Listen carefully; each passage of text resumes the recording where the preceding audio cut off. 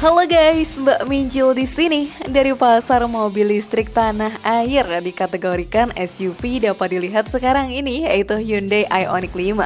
Menjadi favorit di masyarakat loh.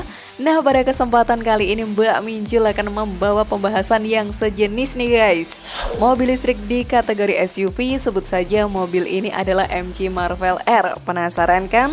Ini dia harga ambiar. Mobil ini auto terjual ribuan unit baru masuk Indonesia langsung laris.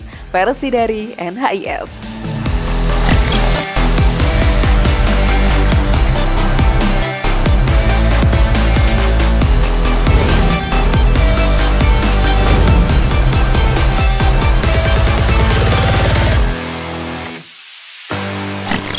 Eksterior dengan aura modern.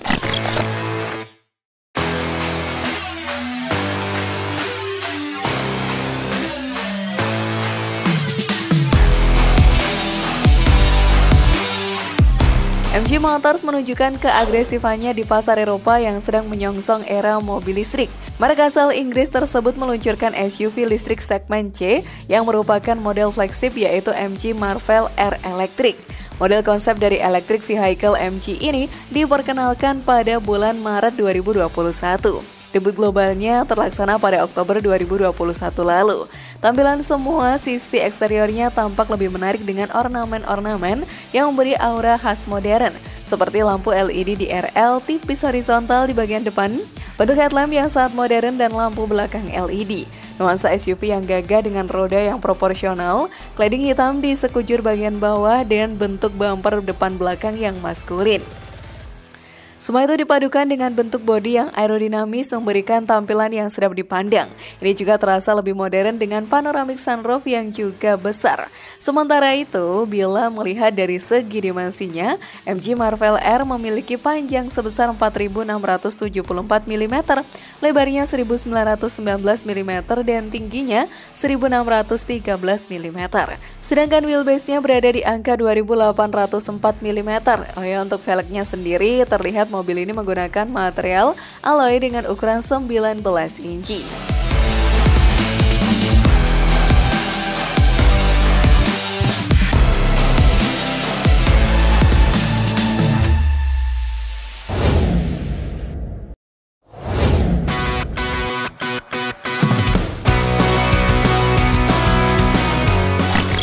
Spesifikasi dapur pacu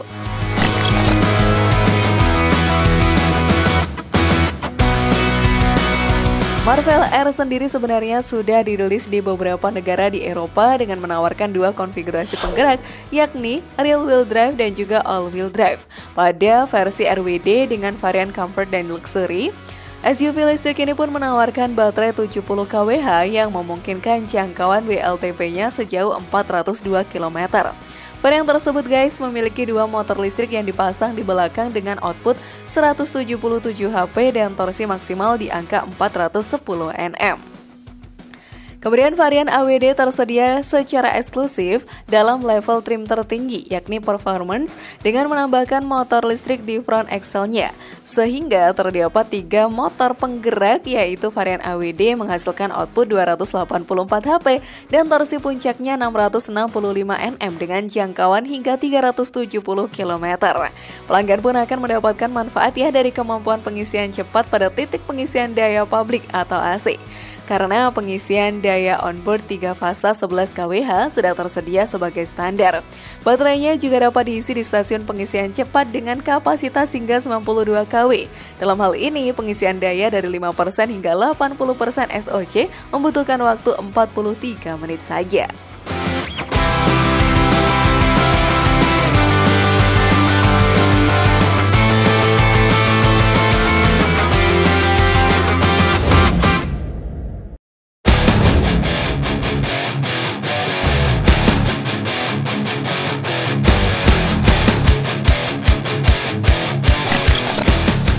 Interior dan harga penjualan.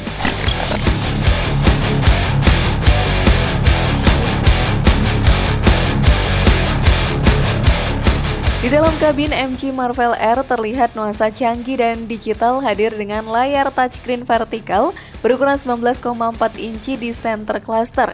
Senada dengan milik Tesla Model X dan Model S yang notabene jauh lebih mahal dari MG ini, juga ditambah dengan instrumen cluster full digital 12,3 inci yang ada di balik lingkar kemudinya. Desain interiornya pun juga terlihat sangat sedap dipandang loh.